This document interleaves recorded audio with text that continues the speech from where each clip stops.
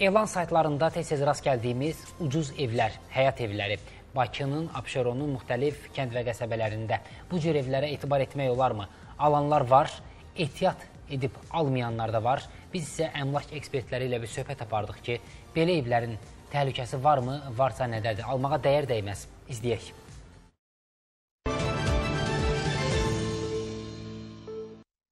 Bir çox elan saytlarında Xəzər rayonu Binə qəsəbəsində bazar qiymətindən xeyli aşağı 42-47 min, hətta 23-28 min manata satılan evlər diqqət çəkir. Belə də sual yaranır ki, Binədə evlər niyə ucuzdur?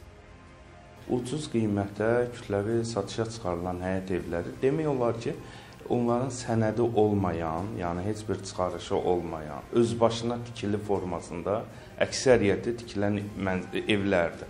Fərdi yaşayış evləridir. Binədir, orada Şuşa qəsəbəsi var. Son 3 ildə, 4 ildə kütləvi orada tikintilər baş verir. Orada yaşayan kontingent olaraq əsas 70-80% demək olar ki, bölgələrimizdən, rayonlarımızdan ora üst tutan vətəndaşlarımızdır. El arasında makro kimi tanıdığımız evlərdir. E, keyfiyyəti demək olar ki, deməzdim, yəni o dərəcədə üstündür. Büdcəyə uyğun olan ailələr üçün, onlar üçün əl çatan olduğu üçün o ərazilərə üst tuturlar. Abşeron, Suraxanı, Qaradağ və digər rayonlarda da ucuz qiymətə təklif olunan evlərə rast gəlmək olar. Bu evlərin kommunal təchizat sarıdan da vəziyyəti ürəkaçan deyil. Həmin yerdə elektriklə bağlı problemlər, xüsusən qazla mavi yanacağın ötürülməsi, orada qazlaşdırma ilə bağlı problemlər olur. Bakının ucuz həyət evləri satılan digər yerlərinə gəlincə, Kənd Mənəqədi, Ramanıdır, Sabunçu rayonunun bəzi əraziləri var ki, bir də Qobu istiqaməti son vaxtlar aktivdir. Ərazilərdən üstünlüyü ondan ibarət ki, orada bir çox torpaq sahələri qanunidir. Son vaxtlar Xocasən istiqamətində də aktivlik görürük. Belə ərazilərə axın mərkəzə daşınmaz əmlak qiymətinin yüksək olması ilə də bağlıdır. Ev almaq biraz çox çətindir. Bu dəqiqə çox gənclərimiz var ki, evlənməyiblər onlar. Bəli, qiymətlər çox bahadır, ot tutub yanır. Ot tutub yanır bu da qiymətlər. Şəhərdə heç almaq düzgün deyil məncə. Həm basabaslı insanlar sıxlıq var.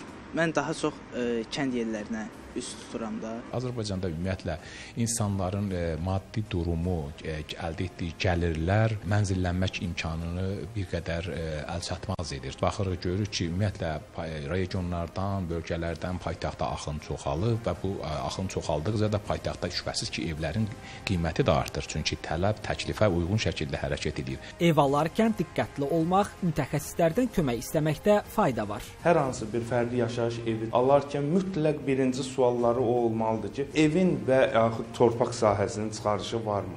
Torpaq sahəsinin çıxarışının olması belə həmin fərdi yaşayış evinin çıxarışının olması demək deyil.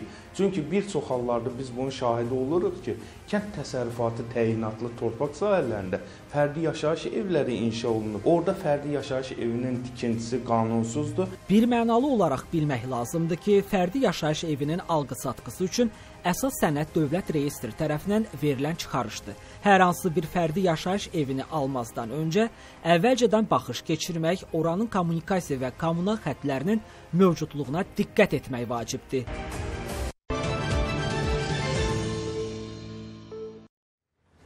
...65 mindən, e, e, daha doğrusu 45 mindən 60 minə qədər, 70 minə qədər evlər var e, həmin o kənd və qəsəbələrdə. E, bəziləri sənəd ala bilmir, sadəcə e, bələdiyyə sənəd alıb, bəziləri çıxarış ala bilir.